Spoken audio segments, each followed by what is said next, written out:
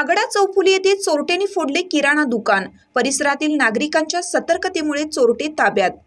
येवल्यातील नागडा चौफुली येथे मध्यरात्रीच्या सुमारास चोरट्यांनी किराणा दुकान फोडले परंतु आवाज आल्यानंतर परिसरातील काही लोकांनी चोरट्यांना पकडून पोलिसांच्या स्वाधीन देखील केलं. त्यांच्याकडे ठामी चाकू व मोटरसायकल पोलिसांनी जप्त केली. यावेळी येवला शहर पोलीस स्टेशन येथे या चोरट्यांच्या विरोधात गुन्हा दाखल करण्याचं काम चालू आहे.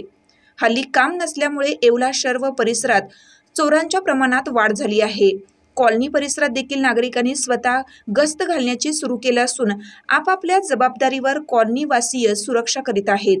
परंतु दुकानांच्या सुरक्षेसाठी दुकानांवर सीसीटीव्ही बसवणं गरजेचे असल्याचे पोलीस प्रशासनाकडून सांगण्यात आलं आहे. स्टार टू महाराष्ट्र न्यूजसाठी साकीर शेख येवला.